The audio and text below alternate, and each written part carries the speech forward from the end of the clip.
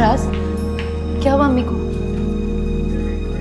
क्या हुआ अम्मी को? बता क्यों नहीं रहे? आंटी बेहोश हो गई। आप मीटिंग में थी मुझे रमशा ने कॉल करके बताया कि उनकी तबीयत कैसी है? वो वो ठीक तो है ना? अब वो ठीक है होश आ गया। मुझे मुझे अम्मी से अभी मिलना है। तुम कहाँ है? वो बताए मुझे। अरे नहीं आप अभी नहीं मिल सकती टेस्ट के लिए लेकर गए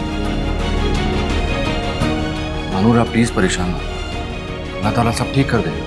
रमशा इतना परेशान मत हो आपने मानूर को भी परेशान कर दिया।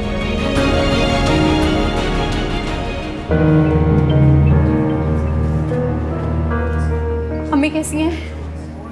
आप ही अब अम्मी ठीक है। मगर रमशा तो कह रही थी कि तुमने सारे जमाने को इकट्ठा कर लिया सिवाय मेरे मुझे इन्फॉर्म नहीं कर सकती थी। मैंने सबसे पहले फ़ोन आपको किया था।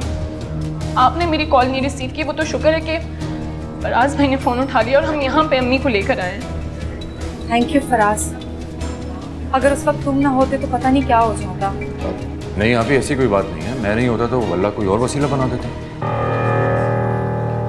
लेकिन इस वक्त आप सब लोग दुआ करें कि आंटी की रिपोर्ट्स ठीक हो जाए। मैं डॉक्टर से बात करके आता हूँ। हाँ।